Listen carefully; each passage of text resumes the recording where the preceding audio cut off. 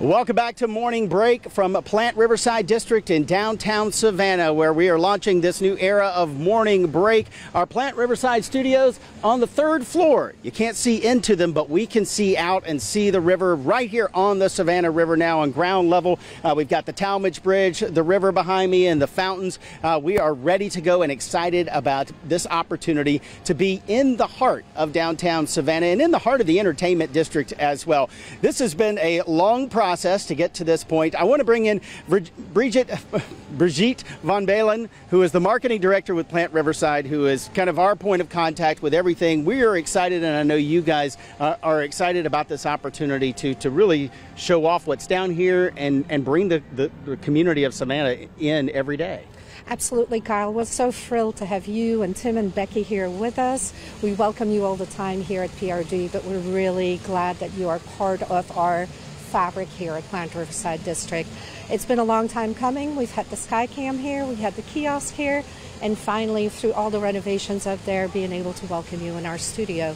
You've, you were here through the build out and, and getting this studio ready. What's that process like when you're trying to run a, a, hotel, an entertainment district, and we're coming in here with all our cameras and everything and trying to, to, to establish this, what we're launching today?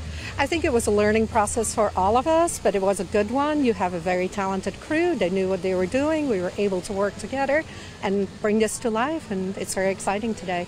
The exciting stuff is yet to come, though, I think, with all of the opportunities here. Like I said, we're in the entertainment district. Entertainment's going to be one of the things we focus on, just being able to utilize this space Tell, tell the folks at home who have not been down here who aren't familiar, you've got the park, you've got the fountains, you've got all kinds of different things that are going on down here on a daily basis. Absolutely. PlantRiverside.com was built with the intent of serving our community in Savannah.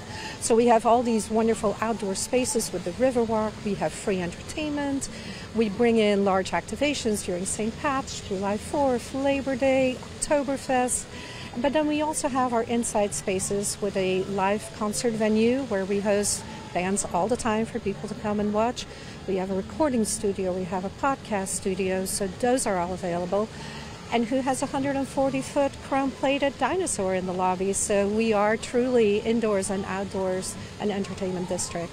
And we are excited about being out here on the, the grass and on the lawn to, to be able to bring folks down here uh, for live events on our show in the morning. And I know it's going to be exciting for y'all to be able to, to kind of bring a different audience in here on a daily basis. It sure is. We look so much forward to uh, bringing in all the people that you have on your show and welcome them to the property and hopefully have them become regulars as well.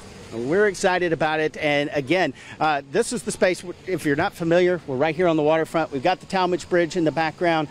The Atlantic Building, which was the newest part of this property, opened up uh, just over two years ago. And we're going to talk about entertainment and stuff that's coming in in District Live and also other stuff that's going on in Plant Riverside District over the next few weeks as we continue to kick off uh, this new era of morning break down here at our Plant Riverside District studios. We'll be right back. When it's time to clear up confusion and address those